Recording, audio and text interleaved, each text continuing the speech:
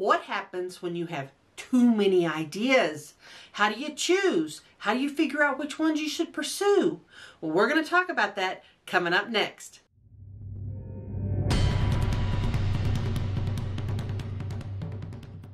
Hi, everybody. My name is Dee Burks, and this is Retirement Rescue, where we talk about how to make money, save money, and create a retirement from nothing. Now, in a previous video, I talked about inspiration and how it works and how it can bring you tons of ideas. In fact, I'll link it here. What happens when you have lots of ideas? How do you choose between them? How do you know what to pursue or what to wait on? Well, for me, it's all about prioritizing. And usually that means prioritizing things with a timeline, and especially if they're income producing, those things come first. Needless to say, that's really important to my life because I have to make a living and you do too. So there may be things you have to do and those things have to come first. And then the ideas you want to work on, you can create in order to prioritize those. But let's talk about how you capture those ideas in order to put them in a lineup because that's what you're doing. You're creating a lineup just like it's a baseball team. so let's talk about how you capture those. Now, one of the things that I do is that I write my ideas down when they occur. So I'll take a minute. If I come up with an idea for a novel, for a book, I'll write that down right quick in an electronic file on my computer. I have an idea file. I have a book idea file. I have a business idea file. I have lots of idea files. and I'll put it in its proper file and I'll save it away. And I'll do that with all my ideas when they happen. I don't wait because I promise you I'm going to forget it. You know how that is. You think, oh, I'll remember. I'll write it down. And it's gone. now, if it's a good idea, odds are it will come back to you because that happens a lot but I try to write it down when it happens.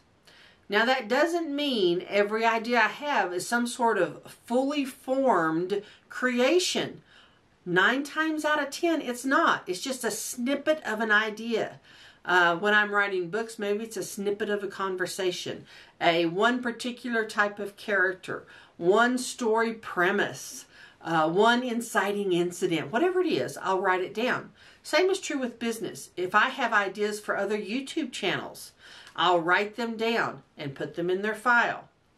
Ever so often, I'll revisit that file and I'll read through those things again. I try to do it at least once a year, if not more often.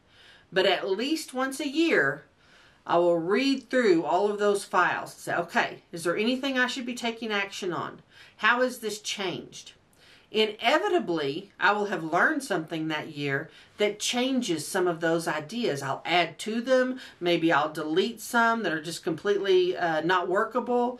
I'll go through and evaluate them. Okay, who needs to be in the lineup this next three months, this next six months, this next year? And I never throw away what I feel like is a good idea. An example of that is a novel idea that I came up with about 13 years ago. 13 years, y'all. And it's been sitting in my idea file that long. And it's changed and grown. I'm now writing that book because it's finally come to the point I feel like, okay, this is at the top of the lineup. This needs to be done now. And that's how I prioritize them. And then I put them in the lineup and I start doing little steps every day. I make goals. You know, how much am I going to write today? What am I going to do today? Um, if I'm setting up another YouTube channel, what am I going to film? What's going to be my rate of posting? Um, how am I going to position it for the audience? All of those things come from my idea file. It's very much like your idea is the little seed. And you have to wait for that seed to germinate and then grow a little bit before you figure out, okay, what is this going to become? Is it going to become part of something else? Is it going to become something I uh, cull, that I delete? Is this going to be, become something huge? And so those ideas are always in the mix. Now, while I'm letting those ideas percolate and I'm adding new ideas all the time, I am also learning the skill set that I may need to bring some of those to life. I wanted to do a YouTube channel 10 years ago. I in no way had any of the skills back in 2010, 2011. I didn't have any of the skills that I needed to do YouTube. I didn't really understand it. I didn't, you know, I just wasn't ready. But the idea sat in my idea file. I want to do a YouTube channel about something, you know, and it sat there and it sat there. There's a lot going on in everyone's life, and you have to prioritize things differently in your life depending on what's going on. I mean, you still have to earn a living, you still have to raise your children. But when the time came, which was 2019, and I had the time and the ability to learn the skill set, I started my YouTube channel at the very beginning of 2020. And I started learning those skills in the fall before I launched my YouTube channel in 2020. So those ideas never go away. They never dry up. They're always valid in some way, and you can always act upon them. Another idea I had was one of these days I want to learn to paint. I mean, the closest I ever got to painting as a kid was paint by numbers. That's I, I didn't know how to paint. I had one of those older sisters who is good at everything. And when you have a sibling that's good at everything, you convince yourself not to try things because you won't be good at them. You feel like you have to be perfect at everything. Well, I finally decided a year and a half ago to learn to oil paint. I went and took a class with a very well-known oil painter.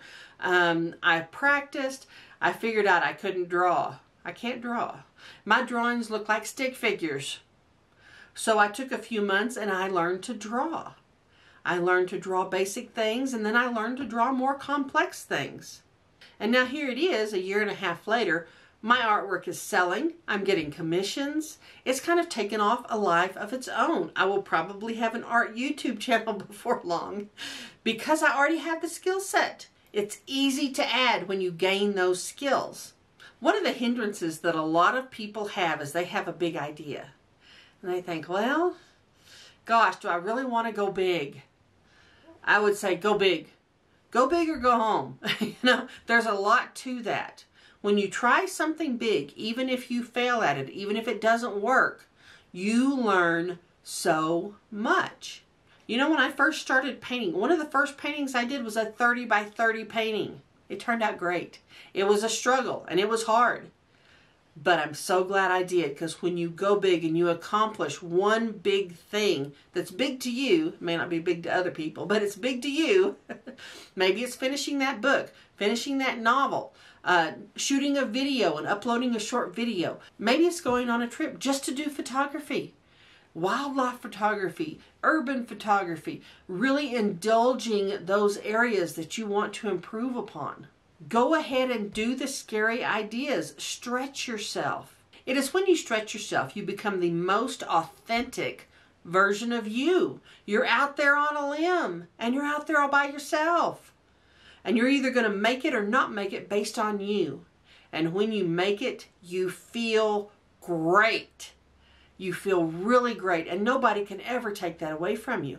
And when you do have those moments where you accomplish a goal, you sell your first painting, you finish your novel, you create a business that you've dreamt about for years, celebrate. Feel good about yourself that you did that much you got that far It's so much further than most people ever get. So make good use of all those ideas you have. Figure out where they fit in the lineup and then start doing them. Now, if you've enjoyed this video, please click subscribe and I'll see you next time.